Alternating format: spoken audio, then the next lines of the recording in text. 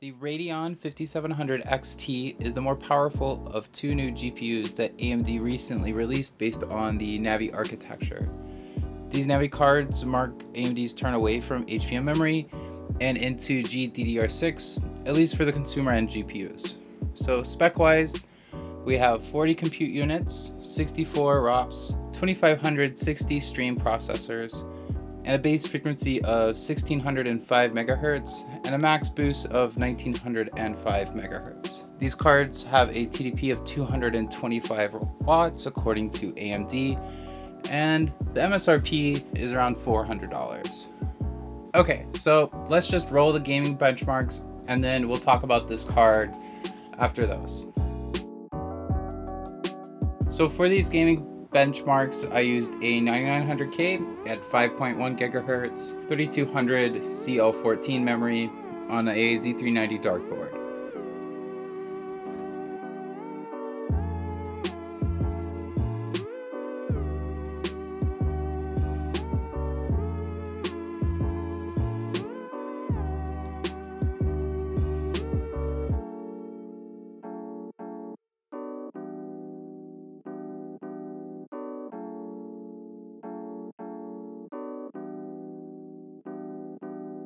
So this GPU basically steamrolls all these games at 1080p and even 1440p.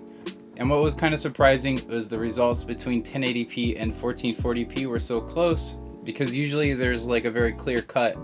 Okay, this is 1080p, this is 1440p. But these results were really similar on this card anyway.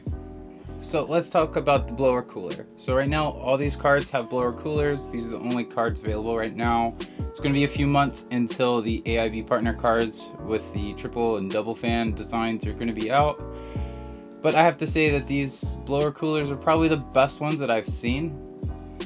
So if we compare these blower coolers to say the 10 series blower coolers from NVIDIA, these blower coolers on the new Navi cards are basically better in every way.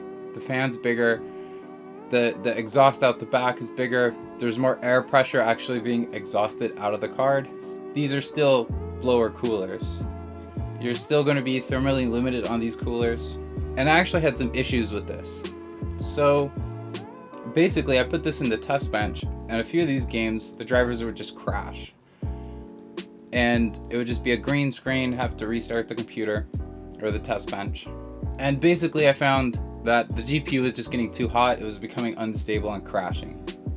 So I found two ways uh, to get around this. One is just probably the simplest way, raise the fan curve about 15 to 20%, and this does make it louder. And here real quick, I'll put a comparison from the stock fan curve to the 15-20% raised fan curve that I settled on to make this card stable.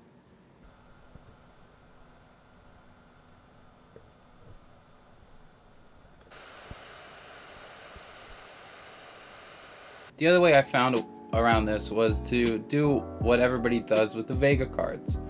And that's just to undervolt it and downclock it. And you would think this would result in degradation of performance, but really what ends up happening is the, the card runs cooler, and because of that, the boost can take over and actually keep the card boosted longer. And what I actually saw was that the FPS wasn't really affected and so this is another way you can get around the, the flakiness of this uh, stock cooler. So the settings I landed on to get this thing stable was 1.087 volts and 1850 megahertz on the GPU core. So at this clock speed, I was able to keep the card stable.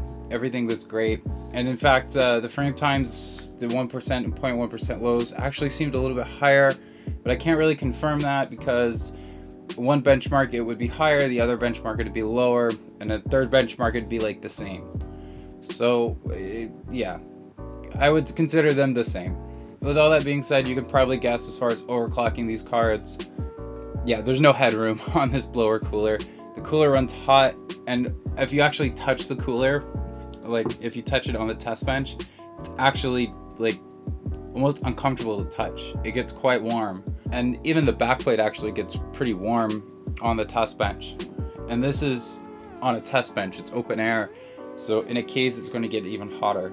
So what I did find interesting is once I actually undervolted the card, compared to the stock settings, completely stock, everything stock, and once I actually set a frequency in Wattman, the time spy score actually doubled. Is is like if you just benchmark it in time spy, it gets like 4,100, and then as soon as you set any sort of frequency in Wattman, it goes up to like 8,000. And so actually overclocking this, it, it was unstable for gaming, but I was able to get like 9100 score on Time Spy, so that's kind of cool, but not very uh, useful as far as actually gaming goes. So there are power play tables available for this card. Um, I'll put a link down below in the video description and you can check it out for yourself. But the article is in German. It's I believe it's by the same guy that did the Vega cards and the Radeon 7 uh, power play edits. And basically, just gives you more frequency to play with and more um, power limit to play with. But from all the issues on the blower cooler, you're not even going to want to touch those unless you have like a water block or maybe an AIB partner card with a giant heatsink fan but they do exist, which is kind of really positive for overclocking. So that's really cool. So for $400, this card does kind of compete with the 2060 and the 2070. It has performance really similar to the Radeon 7, at least at 1080p and 1440p, and maybe kind of rivals it at 4K. I can't really tell because we're basically thermal throttling on this blower cooler, which I think is kind of interesting because, you know, it AMD's basically saying, okay, Radeon 7's dead um, but I, I, think the Radeon 7 has its own kind of use cases with all the, the high speed memory that it actually has. A lot of video editing people really like that card. So it probably has its own kind of niche. But as far as gaming, I'm pretty sure the Radeon 7 isn't even in the picture because it's nearly double the price.